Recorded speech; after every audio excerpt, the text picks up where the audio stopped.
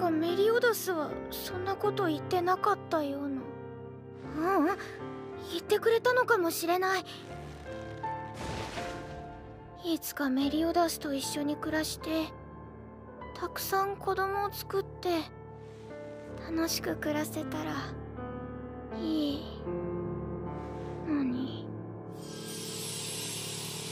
そんな夢くらい見てもいいよね。マトローナ殿向こうから何やら音が。おお誰もいない。今度は向こうから声が